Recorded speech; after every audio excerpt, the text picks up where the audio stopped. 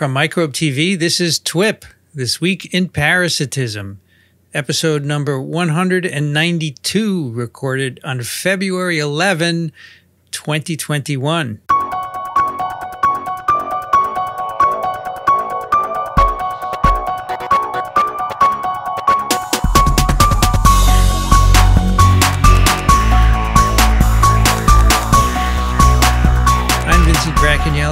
Joining me today from Fort Lee, New Jersey, Dixon de Despommier. Hello, Vincent, and hello, Daniel, when you say hello. and from New York, Daniel Griffin. Hello, everyone. You know, now with the Zoom, with the visual, I guess I'm always here. Exactly. Exactly. yeah, we're never going to go back to uh, the way we used to be with just audio. Now that we are used to Zoom, we can see each other and people well, this has been us. a remarkable transition, I think. I, I, I'm very impressed. I began my course uh, last Friday. I have another one tomorrow. And, um, you know, you see all the students. You get to know whether they're awake or asleep. you can tell when they go out for a, a pee or something because the screen goes blank and then they come back on again. but it's it's a different world because you can you can really uh, I think you can learn this way. I'm I'm thoroughly convinced that it's a good a good technology for uh, not just remote learning, but just learning. Well, not everybody can learn, unfortunately. There are some people who can't handle screens, actually, and I have that in my course. And oh, is that right? Is yeah, that right? I mean, you have something about the, I don't know, Really? but you have, you know, so it's not for everyone. It's too bad. Yeah, I'm not sure my 15 year old son Barnaby is thriving in virtual learning um, environment, to be honest. Yeah, Well, but- very few teachers are catching COVID 19 that way. That's the reason why this is working out so well, I think. I, mean, I think teaching is good in person. Other things are good on Zoom, No, I like agree, but, meetings uh, and this sort of thing is fine on Zoom. Absolutely. Yeah. All right. Speaking of meetings, let's uh, do TWIP. Daniel, remind us of our case. Ah, yes, yes. for everyone um, tuning in, tuning back in, or tuning in for the first time, um, we we went to Malawi. Um, I don't know if I gave much of the background, but I was in Malawi. Um, a few years ago. I went there with the family because my wife's sister was living in Lilongwe. Um, you know, so it's uh, took the whole family, and we spent a couple weeks in, in Africa. The kids actually loved it; they didn't really want to come home, so um, we thought they would appreciate everything they had here. They they loved Malawi, um, but this was a case. Um, this is a teenage son um, of a USAID worker. And his urine started to turn red. Um, and the, this USAID worker w- was somewhat new to Malawi. Um, and I, I use that mainly. He was not sure what was going on. Um, and we got a little bit more of the history, and that on uh, weekends, um, the family, the USAID worker, his family would drive about two, two and a half hours east to a lake, Lake Malawi, and they would actually go swimming. Um, so when this happened, um, the USAID worker um, took his son uh, to the clinician there, um, the embassy clinician. Um, the, cli- the clinician there was familiar with what this was. Um, and as I mentioned last time, uh, was given pills. Take these pills in the morning, take them at night, cleared right up. Um, and um, we were left with what was going on. Exactly right. All right. Should I mention that Lake Malawi is famous uh, for many things? One is the uh, it's a living example of uh, radiative evolution for cichlids. hmm Uh, it's uh, geographically isolated from all the other lakes, although they're connected by rivers. They're not really connected by wildlife.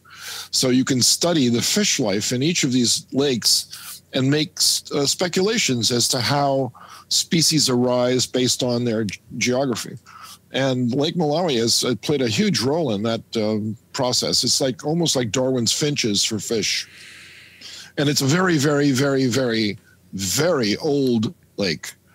That's the reason, and it's tropical, so it it's it remains the same year round. Basically, it's an an unusual chain of lakes actually. So uh, It's worth noting that, by the way. Yeah, well, after we after we run through the emails, maybe I'll even share my personal experience when my family and I went to Lake. yes, we would love to hear about that. I used to uh, raise cichlids in my aquarium years. Did ago. you now? Yeah, when I was a grad student, used to have a salty, cool. you know, slightly salty water, and uh, they were beautiful. Right? Beautiful. They are, and um, quite fascinating to look at. I think. Dixon, can you take the first one, please? I would be happy to. Eric writes, Greetings, and thank you for your fantastic uh, flora of podcasts and online lectures. There is so much to learn, and you are such pleasant educators. Since Daniel said this was an easy case, I thought I'd give it a go. My guess is that the poor teenager had been swimming among parasitic flatworms, Schistosoma hematobium, and contracted urogenital schistosomiasis, also known as snail fever or bilharzia. Treatment is a short course of praziquantel. Fascinating little worms. Don't go swimming with snails in other people's pee. Hmm. I humbly bow to your knowledge and expertise and your healthy approach to science. Uh, they're from Lidköping, Sweden. I've been to Lidköping. That's a very interesting little place uh, where it's two degrees C, a light snowfall, with a class three warning of severe snowstorms for the night. Eric, just a curious listener. Oh, P.S. I managed to find this rather amusing pearl on the web, and I haven't had a chance to download it, but um, I will. It's a really interesting article about the difference between case fatality, risk, rate, and ratio. ah, right. Oh, right. It's good. And I've also been to Linköping in 2019. I, I passed through lovely little town, D- Dixon. Really, it, it is. It really is. nice. Daniel. All right. So I've never been to Sweden, but I do want to go. David writes Hello, Team TWIP. Wonderful episode as always. Thanks for continuing to provide the listeners with your insights into the world of parasites, parasitic diseases, and scientific research into the same. The show is an intellectual diversion from the realities of the pandemic and political divisions, at least for a few minutes given Dr. Griffin's statement that he was throwing us a bone, I'll go for what looks like a good match schistosoma causing schistosomiasis. The symptoms seem like a very good match, and the disease is treatable quickly, as in the single day of treatment that Dr. Griffin states for this case with praziquantel. Of course, the seventh edition of Parasitic Diseases has a thorough discussion of various aspects um, of the schistosome starting on page 379. Highly recommended. Thanks again for the wonderful content. I look forward to every new show. Stay well, David. Tim writes Daniel Dixon and Vincent, the red urine post swim in Lake Malawi is certainly schistosomiasis brought on by an infection of schistosoma hematobium.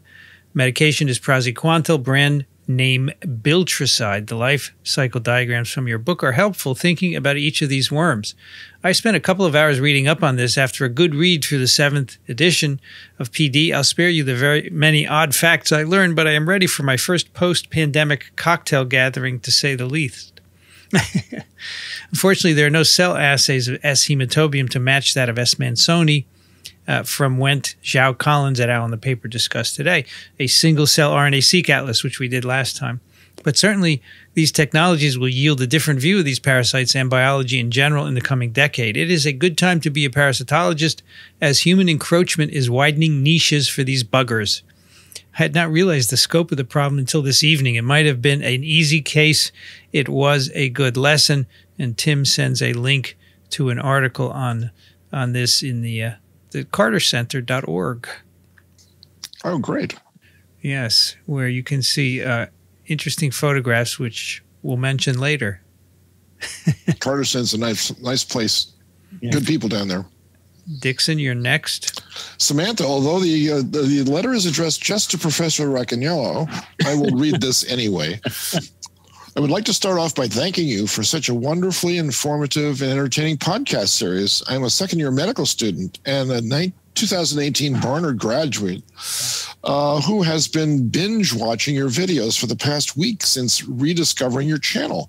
Your podcasts are 10, a thousand times more exciting than my online pre recorded medical school lectures. it's nice to feel like a Columbia student again after three years listening to an expert in his field share his knowledge with enthusiasm and purpose. And I am very thankful for you and your mission to bring such high quality educational content to the public. Regarding Dr. Griffin's challenge, I believe the teenager has schistosomiasis caused by schistosoma hematobium. The main clue that made me think of schistosoma infection is the patient's hematuria. Schistosoma is known to infect the bladder, resulting in such in such bloody urine. Furthermore, this parasitic fluke, uh, blood fluke, is endemic to sub-Saharan Africa, among other regions, which fits the patient's recent geographic location. Schistosoma hematobium's hosts are snails. Cercaria from the snails penetrate the skin, migrate to the liver to mature into adults, and then into the visceral venous plexus, which surrounds the neck of the bladder. The patient's history of freshwater swimming is also pertinent positive, since this indicates a potential source of exposure we just learned about this parasite in school, so perhaps I have some cognitive bias. all the best, Samantha, a very curious medical student with a newfound love for all things viruses and parasites. Lovely. Well, Samantha, you, um, I, I, think you're referring to the fact that you go to school at Columbia also. Um, I used to teach there a lot and uh, miss miss the contact with the students, and I'm glad to hear that the subject is still doing well. Daniel. All right. Rachel writes Good morning, TWIP team. It's overcast and about 25F, negative 4C here in Indianapolis. And I'm just trying to stay warm. I'm a longtime listener, but this is my first time writing in because I'm terrified of getting it wrong. My interest in parasitism is newfound but strong. And I'm so grateful to have a backlog of episodes to go back and make guesses on with instant certification of my answers or the young man in Malawi urinating blood. I think it's safe to say he was infected with schistosomiasis, specifically by S. hematobium. The tricky trematode hatches in water and is commonly found in Lake Malawi, especially affecting tourists and expats with less experience with this pathogen. Once infected, the patient will notice blood in the urine as the adult worms infect the bladder. One day of treatment with praziquantel will effectively clear up this infection, which I suspect to have been the drug prescribed. This isn't a, lo- a lot of differential for this particular case, as it is pretty cut and dry and can be clinically diagnosed. Fun fact this parasite was what initially got me interested in epidemiology and specifically medical anthropology, as it was used as a case study in my introduction to biological anthropology course seven years ago. Of course, now come the trials of grad school and my eventual PhD, so I can get to the point where I just hang out with worms all day. Thank you for everything. Stay safe, Rachel. Hmm. Hang out with worms, Dixon. Is that a good idea? Um, if you know him by a first name basis, yes. If you don't, I'm not sure. I, would have to think about that one. AK writes, Good evening, esteemed hosts. A welcome reprieve from all things COVID. I find myself looking forward to TWIP more and more. I'd say schistosomiasis hematobium until proven otherwise. Incidentally, one of my absolute favorite parasites, if such can be said about a disease causing pathogen. It has an absolute fascinating spectrum of symptoms. We actually find quite a few among our immigrants from refugee camps with diagnosed active or latent TB, though we find even more strongyloides. As I recall, we also had a remarkably interesting case a few years back, though quite tragic. A child with neuroschistosomiasis with transverse myelitis, of which the details have slipped my mind. Stay safe. AK is an ID physician. Dixon. Byron writes Hello, TWIP hosts. It's 32F here in Naperville, Illinois, and sunny. Here is my guess for TWIP 191 schistosomiasis caused by schistosoma hematobium. Gotta say, it really helps to have the latest PD on hand. Thank you for all the hard work. It has been a lot of fun listening. Byron. Daniel. Michael writes, I'm relatively new to TWIP, but I thought I would give a guess to Dr. Griffin's case study in TWIP 191 about the teenager swimming in Lake Malawi. My guess is at the end of this email. I started listening in May 2020 to TWIV to learn more about the SARS CoV 2 virus while in lockdown, and soon started listening to all other shows on Microbe TV as well. I especially want to thank you for the Virology 2020 videos on YouTube, which are both informative and also make me wonder at how inventive viruses are through natural selection to adapt and multiply. They are truly amazing, and I wish there was a greater emphasis on funding basic science. Keep up the good work. Thou, Oakland, California. And then he says urogenital schistosomiasis by parasitic flatworms schistosomes, also known as bilharzia or snail fever. And I want to keep that in mind. That's that's an interesting. That is a slightly different guess than we've had so far. Caroline writes, Bonjour. As a first time guesser, I hope this try isn't too bad, especially since you implied it may be easy. I'm guessing it's just schistosomiasis. A bit of research led me to find that this parasite is endemic in Lake Malawi and so causes many infections in tourists. One common symptom is blood in the urine. The typical treatment for schistosomiasis is usually one dose of praziquantel. Sometimes this is split into two doses taken within 12 hours. This treatment matches what was prescribed to the patient in your case. Thank you so much for all these podcasts. I've been listening to you for a long time in the episodes. Keep getting better and better. Stay safe. Caroline is a water treatment operator. Mm-hmm. Dixon. Ida writes Dear team at TWIP, Ida here, writing from Barcelona. I listened excitedly to each of your programs, but this is my first time attempting an answer. I'm a PhD student in archaeology at CUNY, conducting an archaeoparasitology research. That is, the study of parasitism in ancient populations. Archaeological parasitology is an interdisciplinary field that combines parasitology and archaeological methods to investigate specific patterns of ancient parasite infections in relation to environment, diets, behavior, and disease. It also has an objective to trace the origin, evolution, and dispersion of different parasites worldwide and and offers epidemiological insights that can help model modern trends. Fascinating field. My answer to your case study for TWIP 191 is Bilharzia infection caused by the fluke parasite Schistosoma hematobium. This parasite is widely spread in many countries in Africa, including Malawi, and it is endemic from the shallow waters of Lake Malawi, where there are diverse species of snails that serve as intermediate hosts.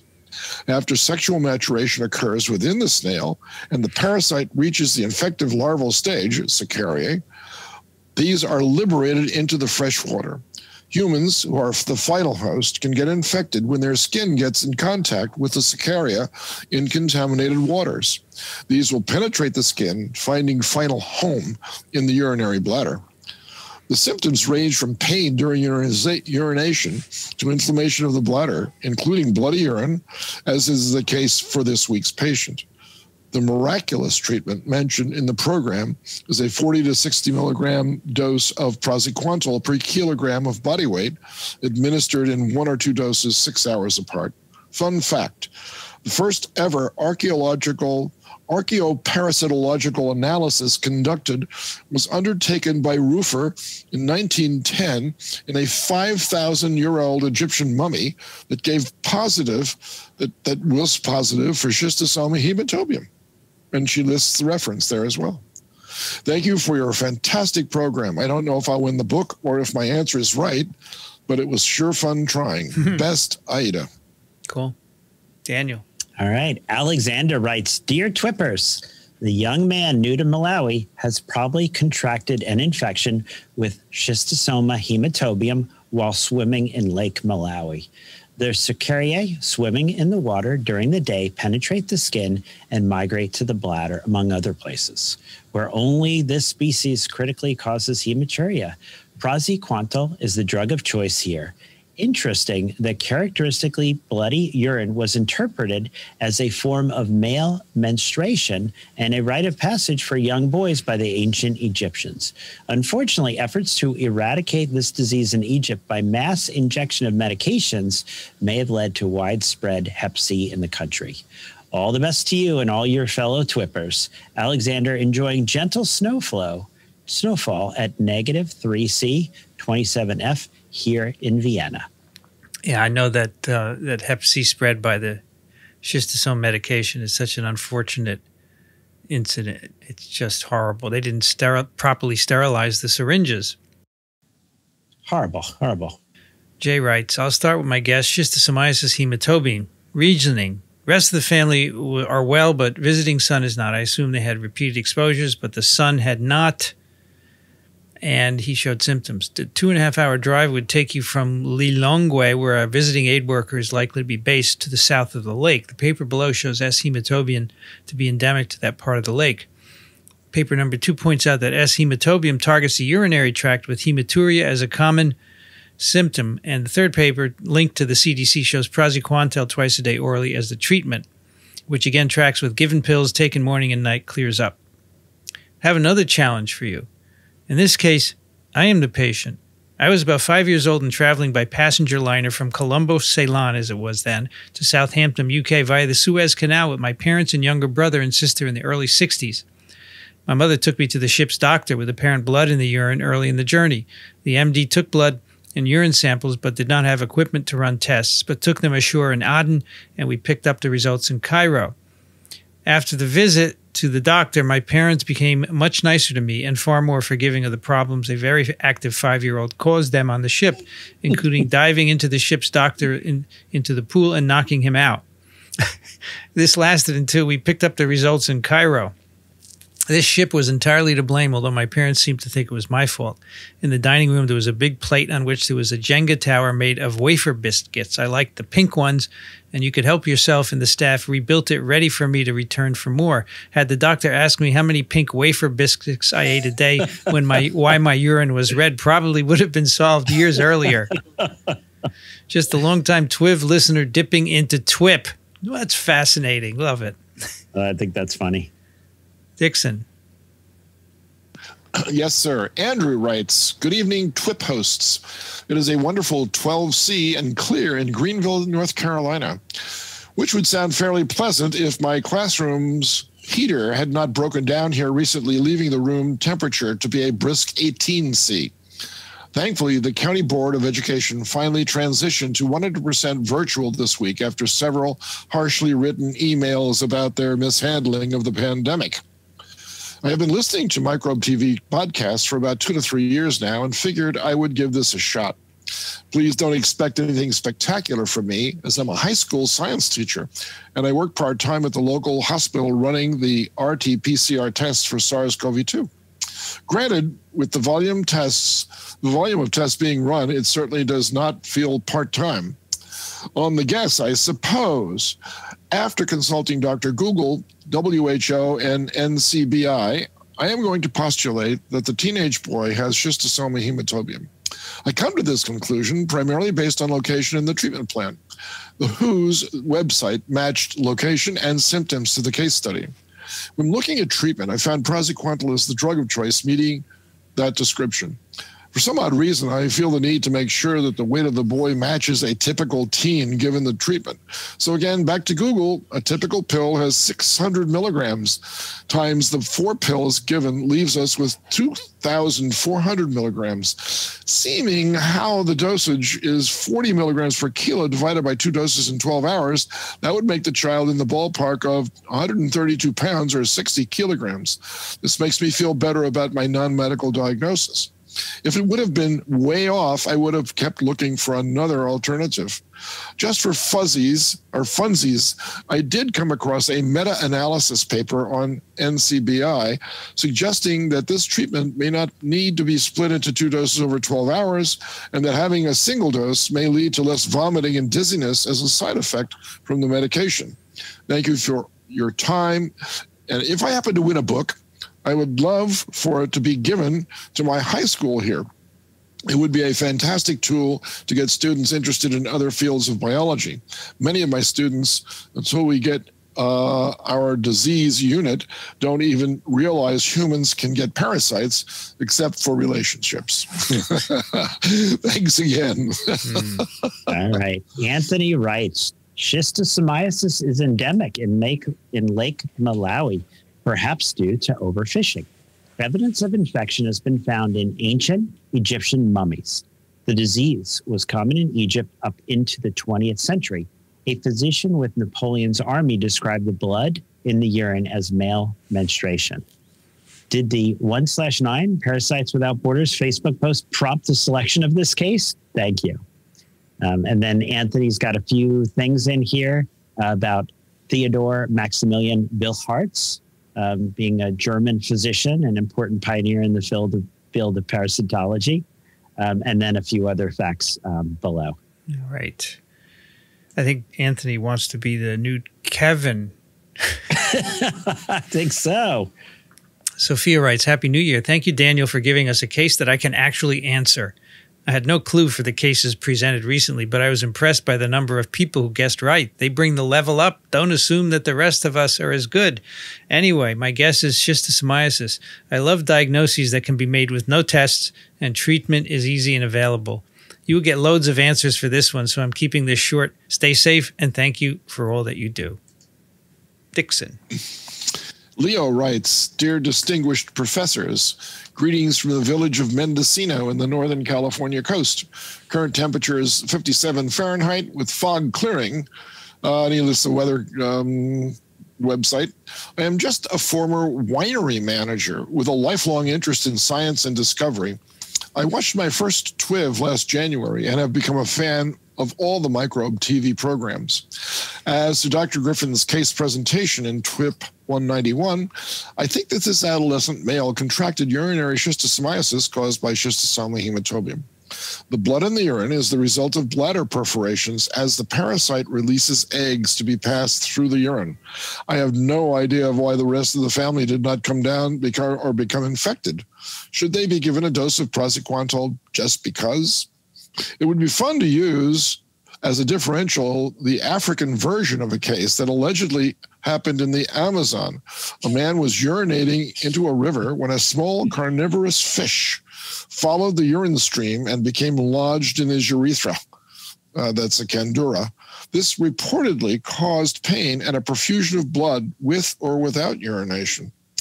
I look forward to the big reveal, wishing everyone happy health, happiness, and long life. Sincerely, Leo. Is that true, Dan, Dixon Daniel, that this fish does swim up the urine stream? Candiru, it's a it's a it's a, a uh, small uh, catfish that actually infects the gills of larger catfish. Mm-hmm. And by rubbing its uh, spikes along the gill rakers, it elicits the blood to come forth and it actually feeds on the blood that comes out of the gills. Yes, this is a very, very tiny organism.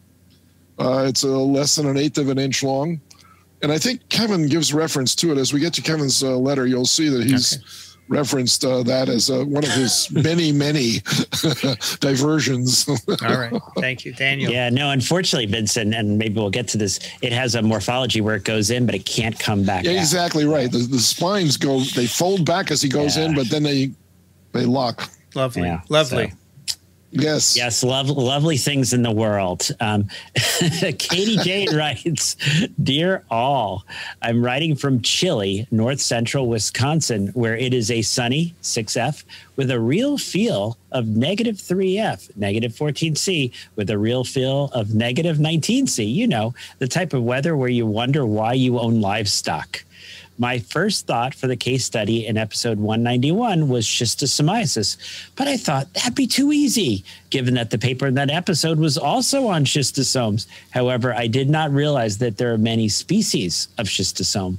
I love learning from you all. The three most common species are Schistosoma mansoni, S. japonicum, and S. hematobium. According to PD7, in the case of S. japonicum and S. mansoni infection, the injury occurs when eggs are deposited in the walls of the intestine and in the liver, whereas infection with S. hematobium affects the bladder. Bladder infection can result in hematuria or blood in the urine, which was the main symptom in this patient after spending time swimming in Lake Malawi. According to the CDC website, fresh water becomes contaminated by schistosoma eggs, which infected people urinate or defecate in the water. I know we all know that this happens, but gross. People are gross. The CDC website also states that vigorous towel drying after an accidental, very brief water exposure may help to prevent the schistosoma parasite from penetrating the skin. Daniel did not make the comment that perhaps the boy had been swimming and maybe hadn't toweled off quite as vigorously as he should have. Treatment for schistosomiasis is with a one to two day dose of praziquantel. This all seems to fit. So I'm going with schistosomiasis caused by S. hematobium as my guess. Diagnosis could be confirmed by urine sample, although I'm guessing that if the infection is endemic, the medical professionals in the area have probably seen it enough that they don't necessarily need to confirm the symptoms with a diagnostic assay. I have made it one of my New Year's resolutions to write in for every TWIP case study this year. I'm also training for a half marathon, and I find your podcasts keep me much better distracted from the pain and misery my legs are suffering than music does. As always, thanks for all you do. Martha writes Dear TWIP people, when listening to this episode's case, I was sure I knew the parasite and the treatment, but as my usual practice, I decided to poke about on the internet a bit. I thought I remembered that the disease had been mentioned in ancient Egyptian papyri and wanted to check it out. For some reason, it had lodged in my brain that the disease was so prevalent in Egypt that there was actually a hieroglyph for it and that the ancients equated hematuria in men to menstruation in women. Well, turns out the ancient Egyptians did have a word for it. That word apparently is ah. Ancient doctors seemed to recognize the association with water and advised against standing in polluted water, not e- easy with an agricultural system that depends on yearly flooding of the fields.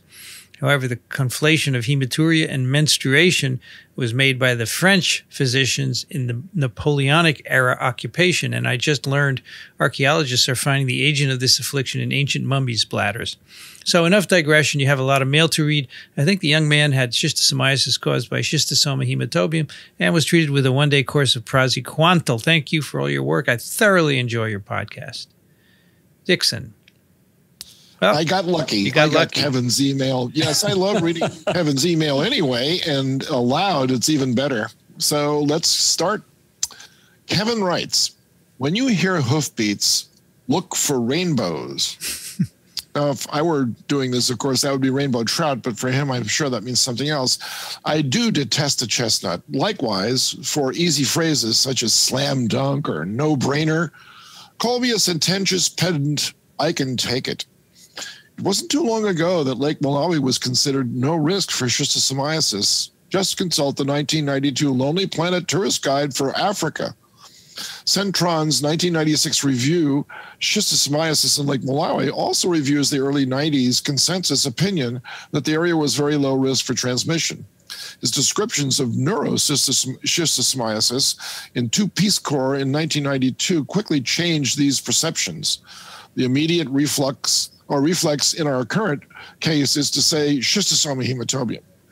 By the way, this worm should have an identity crisis, having been known variously as Distomum hematobium, Bilharzia hematobium. And let's not ignore this worm's erotic potential. Two suckers, a gynecophoric canal, and a copula, and an incopula lifestyle. As they say, what could possibly go wrong? What I find most disturbing in this case is the fact that no diagnostics were run on the patient even in the face of the overwhelming likelihood that S. hematobium infection uh, was the answer. The importance of objective and definitive demonstration of the diagnosis is never to be devalued. Simply centrifuging the urine and fighting ova would be sufficient, though this may be low sensitivity in light infections. Serologic testing, six to eight weeks post suspected infection, should be attempted obtaining hard evidence is crucial in the event that rare complications arise in the future, such as neuroschistosomiasis. Occasionally, I'm sorry, additionally, and as we have repeatedly stressed in previous TWIP cases, the construction of a differential diagnosis is important to avoid premature closure and to account for the possibility of simultaneous or co occurring pathologies. Non infectious causes of hematuria in adolescents are listed in the endnotes. Other unusual and unlikely parasitic causes of hematurias are ascariasis, trichinella, myiasis, uh, renal echinococcus, referenced in endnotes. In our case, the patient was doubtlessly, uh, no, yeah, doubtlessly given praziquantel, though the CDC states that the repeat treatment may be needed two to four weeks after initial treatment in order to ensure effectiveness. Additionally, if pre-treatment uh, urine exam shows OVA, a repeat urine exam should be performed one to two months post-treatment. Which leads me to those rainbows. Colored urine seems rather fanciful, even if red, especially in view of popular dolls such as Poopsie Slime Surprise, Unicorn, Rainbow, Bright Star. Something about this TWIP case and a desire for urinary equity with Technicolor feces led me to search the string Technicolor urine. Why was I surprised to find a 1974 JAMA article containing that phrase? I took a chance on rainbow urine. Well, the exact phrase wasn't found, but uroscopic rainbow was. Now, digression has been carried to the level of vice, but there may be a pot of gold at the end of this uroscope. Rainbow, I mean, sorry, sorry, I'll read that again. But there may be a pot of gold at the end of this uroscopic rainbow see a terminal curiosity and towel off vigorously, even though there is naught but anecdotal evidence to suggest that this works. Exfoliating is invigorating. Thanks for all that work you do. So, Vincent, what part of the endnotes would you like me to skip to? Just go down to a terminal curiosity and read. Terminal curiosity, sure. Okay. A terminal curiosity. TWIP 191 put me in the mind of a pretty of, of pretty colors and the strangeness of body fluids that are the wrong color. It harkens back to simpler times when the diagnostic apparatus was a flask and a physician and a physician's eyeball, hopefully accompanied by some experience and common sense. Meditating on urinary colors transported me back to the early 1990s when I would see the urine uh, rims in the Cook County Hospital public toilets that were often bespeckled orange by wayward urine drops from medication adherent TB patients.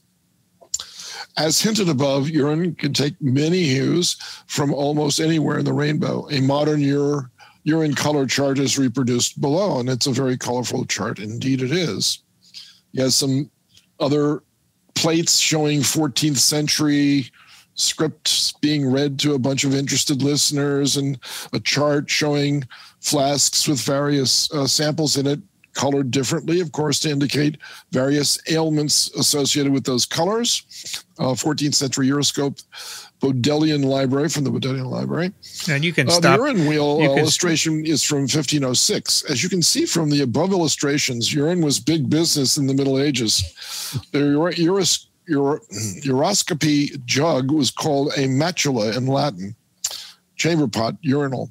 There are many examples of the urine wheel, a primitive diagnostic aid. The example above is in the Munich Universität Bibliothek. Okay, you can stop. Below- You can stop. I would be happy to stop now. Yeah, he has a lot more information on colors of urine, which is great. he so does, he does. I recommend that people read it. Uh, God, Daniel, you're next. Certainly. James writes, writing from La Jolla, California, where the sea breeze is blowing a gentle 50 F 10C. Back in Denver, it's snowing. Those poor people. My guess with red urine in Africa is schistosoma hematobium, common in Lake Malawi. In the pathology review course, they give us the mnemonic that schistosoma egg looks a bit like a urinary bladder in shape associated with the bladder cancer worldwide. I remember an Amazon fish that's reported to cause hematuria, uh, Candiru catfish that supposedly swims up the urethra and lodges there with its spines. Makes a great legend.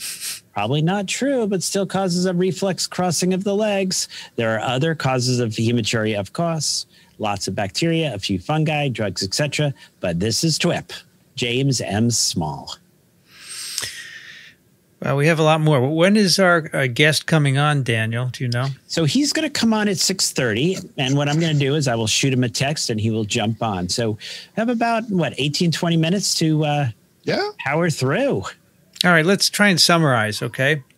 good Okay. idea. Chad writes, uh, schist- urinary schistosomiasis, Lake Malawi, um, praziquantel. My apologies if this guest is out there. I was trying to investigate using my wife's textbooks. Usually I play her the podcast and she just gives me the answer. I think that's great. okay. Dixon, can you summarize Andrew's? Yeah, sure. Andrew writes, Kia ora from Bangarora. We've had a lot of emails from Andrew in the past, and I'm glad to get another one. You list the weather. It's up and down, of course, and that's typical for New Zealand no matter what. He still laments not having won a book. Well, who knows? Maybe today's your lucky day, Andrew. And then he guesses, of course, correctly that it's schistosoma hematobium in Lake Malawi. And he gives all of the uh, common features that we've already reviewed in other emails.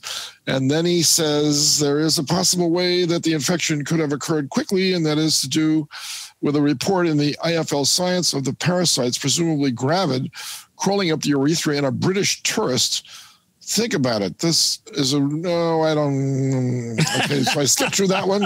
And he, by the way, he says, uh, "See you later."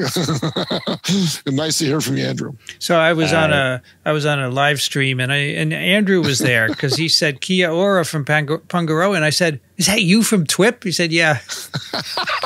oh, cool. cool. Daniel, that's funny. Uh, Alan writes, esteemed TWIP TWIPsters, and uh, aloha from Kona, Hawaii. Um, and also, we are seeing here a water contact disease, schistosomiasis or bilharzia. Um, a little bit about uh, studies out of Cameroon, um, and I will I will call it there. So that's from University of the Nations from Kona, Hawaii. It's interesting that he says in Cameroon only the wealthier boys would show up with hematuria because the poor ones had to work; they couldn't swim.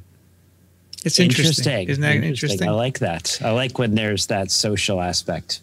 Uh, Elise writes, Dear TWIP trifecta, Elise uh, writing from lower Manhattan in the snowstorm, teenager with red urine, uh, schistosoma hematobia, praziquantel. Uh, given that one family member was infected, but the whole family had been swimming, what happened to the rest? It's a good question. Uh, vigorous toweling off, how to prevent future infections. Did the family continue swimming? As always, many, many, many thanks for everything you do. Dixon. Uh, Anthony writes, I can read the whole email because it's very close, very sh- short. It, it, appears someone did not take the doctor's advice for vigorously drying off after having fun in Lake Malawi. Final diagnosis, schistosoma species. Anthony, self-taught biochemistry nerd and pharmacy tech hopeful. Daniel. Uh, Sean writes, gentlemen, loved Dixon's story, and the devil's really in the details. Size matters. That was about the uh, worm in the eye. Um, and let's see what his guess is. I love Africa and the zebras that come with it. Lake Malawi is well known for schistosomiasis. All right. I'm just reading his email. It's cute.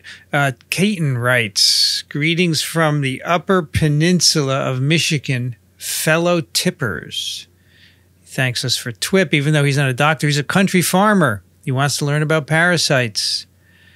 Um, as I listened to Daniel, how will I figure this one out? So I did the following Google and he got urinary schistosomiasis. Touche, Daniel. Praziquantel. Thank you, Daniel, for your work with Parasites Without Borders. Uh, Caton is a owner of a grass-fed beef company. I'm getting yeah. hungry. Sounds good. Dixon. Yeah.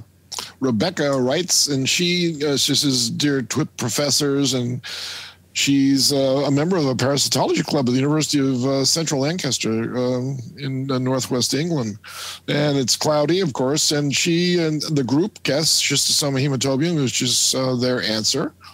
Uh, we're not saying that's correct, mind you um, and it gives the proper medication. And except in this case, it's three times a day. And uh, other family members were also swimming, but they did not become infected.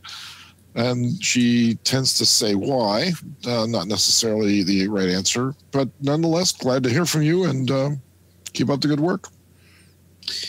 Josie, dear triple trouble twippers.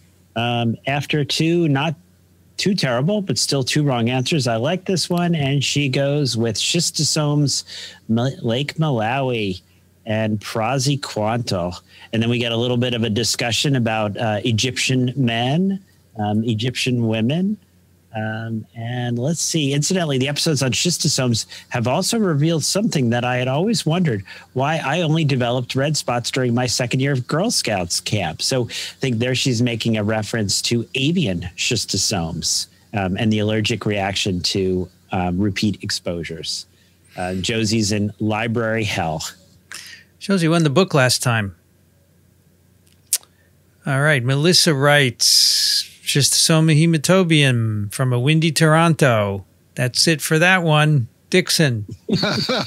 Lauren writes, uh, hello, Twip. She's a, uh, let's see.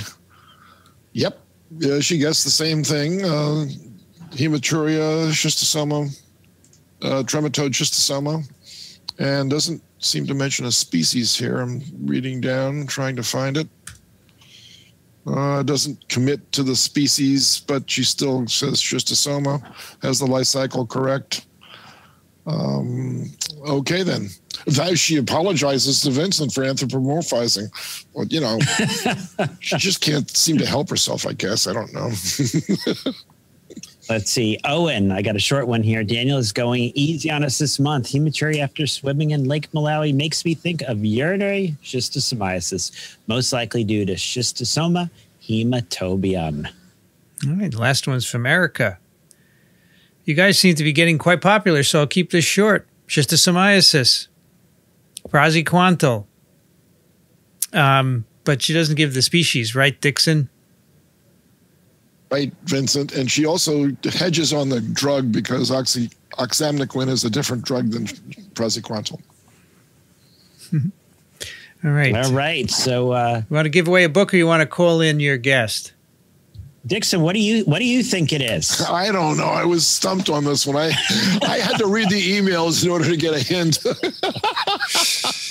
no, I'm just joking, of course. No, it was pretty obvious what it was, and um, too bad for the kid, but uh, I guess he got better right away. And uh, good question about the rest of the family. Maybe they were a lower in infection than he was. They spent less time in the water. Maybe they had light infections or not infections at all. But but I'm, I'm pretty clear that it's schistosoma hematobium. What about you, Vincent? You want to jump in on this? Yeah, I mean, I I took the easy way, you know, because if you go to the Carter page, you see little kids uh, there with vials of their urine that's red. exactly. exactly. Yes. All right. Yeah, actually, um, yeah, I have to say, um, hopefully, yeah, people, I'm glad people got this right. Um, I, I said I was going to share my experience when I was uh, there in Malawi. We, of course, decided we were going to go to Lake Malawi. You know, it's hot, right? So I'm explaining to my family, listen, we're going to Lake Malawi. You can't swim in the water because of the parasites. And then we get there and it's just so darn hot. So we all went swimming in Lake Malawi. But we're there, you know, and I'm, of course, thinking about the parasites, but I noticed there's a lifeguard.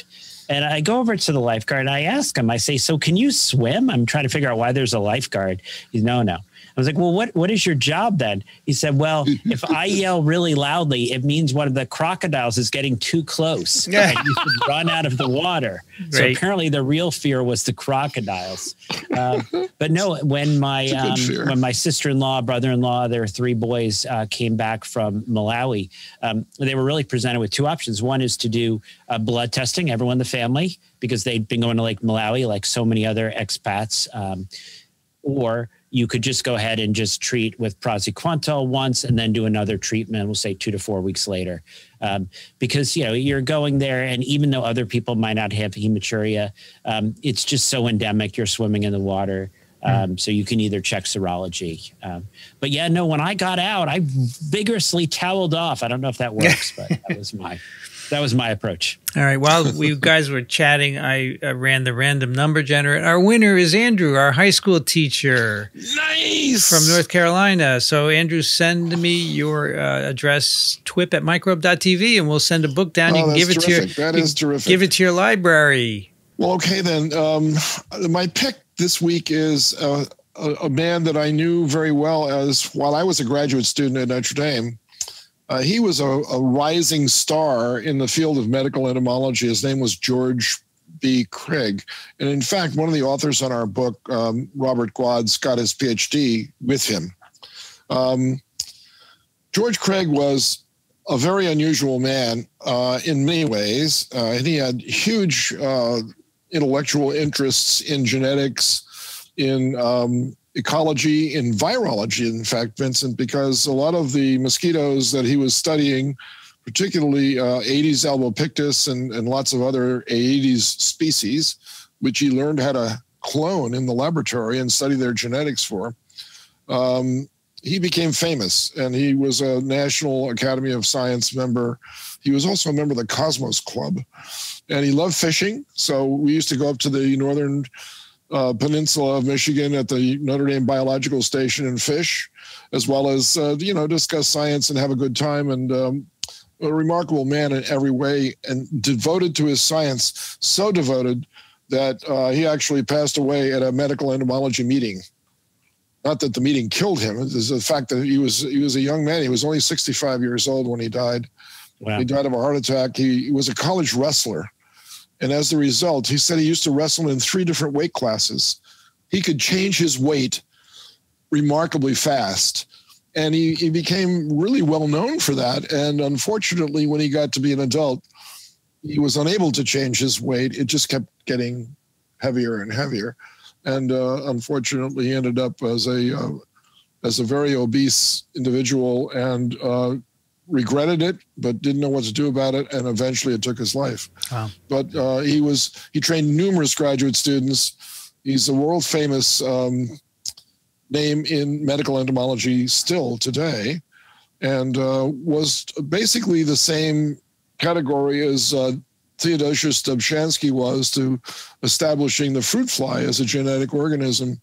George B. Craig established Aedes aegypti as a genetic organism, and um, he was a truly interesting man and a wonderful uh, gentleman, and with with a, a, a I can't tell you how enthusiastic he was when we went to basketball games. He was embarrassingly enthusiastic. His voice could be heard above everybody else. They knew who it was. They appreciated it, and he was he was their biggest fan. And so nice. um, I loved him dearly, and um, and everybody misses his presence because he was such a, a driving force in in in lots of other things besides just science. Wonderful. Thank you, All Dixon. Right. So it looks like we have a fourth uh, a fourth box there. Uh, indeed. do you want to? no name below it, though. We will, we will join you in. We'll loop you in. Oh, sure. there's the hey. name. Hey, everyone. Uh, nice to meet you. I'm Audun. Happy Hello, to be on the show.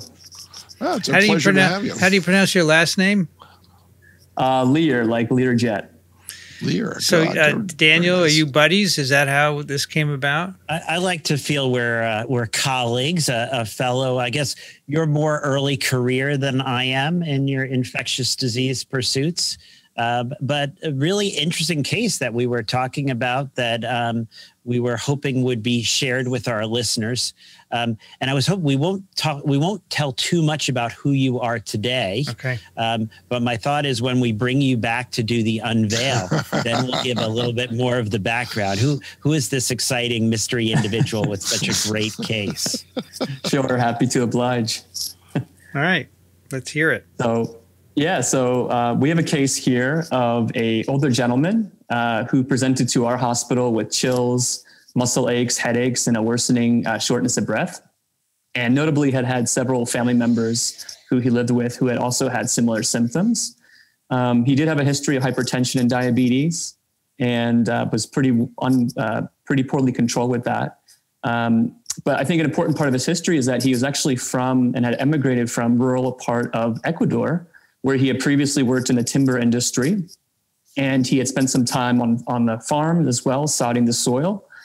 Um, the family of Snoke did not have any pets, no dogs, no cats, no um, reptiles or other animals of any sort.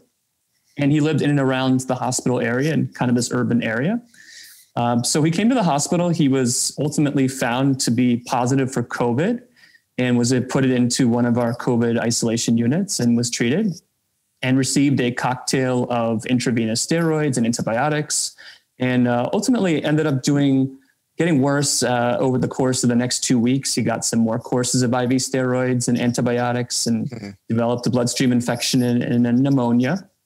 And then about three weeks in, the infectious disease service was ultimately involved because one of our technicians, the Tansy, had actually noted that on the agar plate, he'd seen this very interesting, creepy, crawly, serpiginous kind of trail and had alerted us to uh, what was going on. And we actually had daily microbiology labs. So he had called us in and, and this was during COVID time, so we couldn't come in person, but we joined in via Zoom.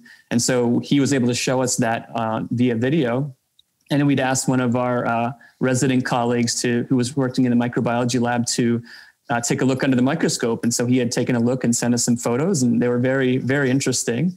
And we had a, a strong suspicion at that time what it was, uh, but we're ultimately blown away.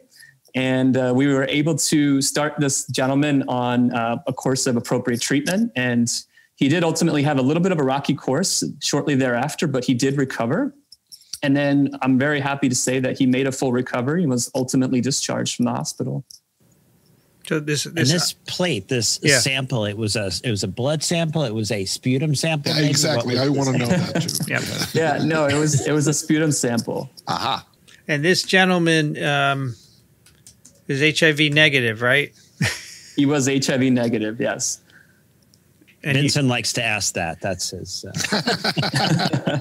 now, and he's living with his family here in the U.S., correct? Yes, that is correct, to the best of my knowledge. And you say, did his family have COVID also, or they had some uh, something else that you didn't diagnose? Yeah, I bet they did. Yeah, the, yeah. The full the family was ultimately also uh, several members, including the wife and two daughters, were ultimately diagnosed with COVID as well. But nobody was ill enough uh, to go to the hospital aside from him. Hmm. Can you talk about the blood work at all, or should we guess at that later? yeah, um, I, I can talk a little bit about the blood work. So he did not ultimately have this organism in the blood, uh, but had uh, a couple of different bacterial uh, species that were associated with what we thought was uh, a pneumonia, and also potentially from elsewhere as well, in the, perhaps the GI tract.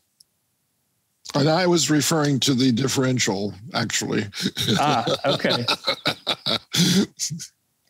Any unusual features about the differential blood work? Like neutrophils, lymphocytes, eosinophils, things yeah, like that, that sort of thing. so interestingly, when he came in, he had no eosinophils and about three weeks later had then developed a florid eosinophilia. Uh, he had a little bit of a low lymphocyte count, which was kind of common with COVID when he initially came in. Um, mm. But otherwise, that was kind of one distinguishing feature. And I understand stool was sent as well, and that was completely negative. Stool was sent off. It was completely negative. Serology was sent off for various organisms that came back negative. Right. Uh, let, let me just told us uh, too much. Let me let me just. I just want to verify that you do not work for the Bronx Zoo. That's my this knowledge. Was a, this was a human being. this is a, an Andean condor. okay. Very good. Yeah, you, you may, you may, not get the joke there. We we had a case where it was actually a uh, it was a penguin at the Bronx Zoo with malaria. Exactly, it had malaria though. oh, well, no kidding.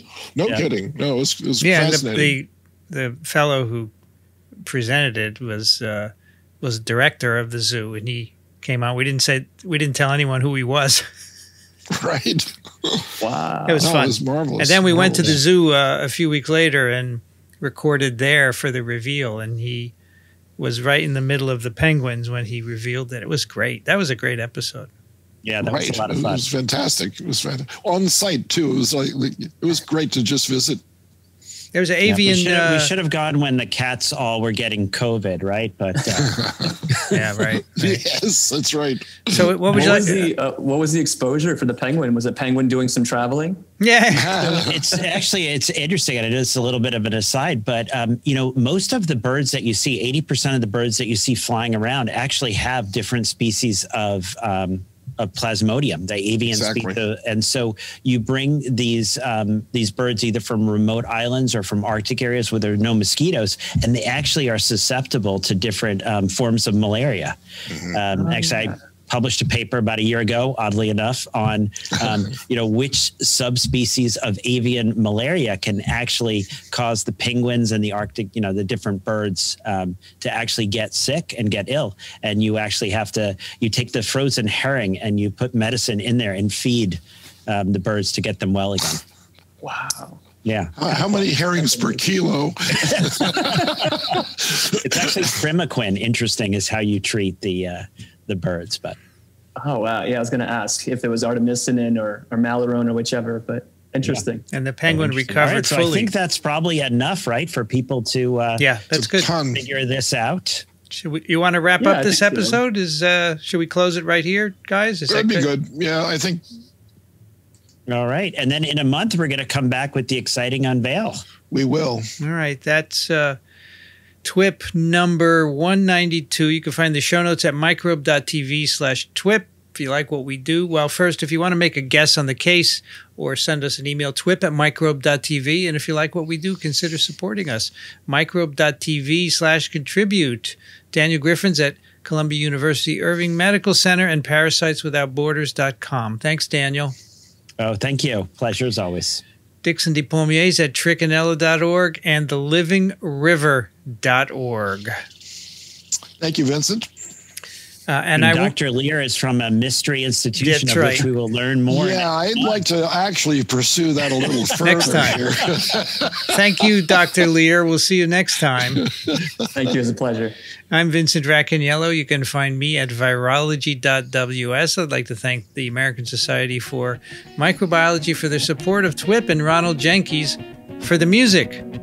You've been listening to This Week in Parasitism. Thanks for joining us. We'll be back soon. Another TWIP is parasitic.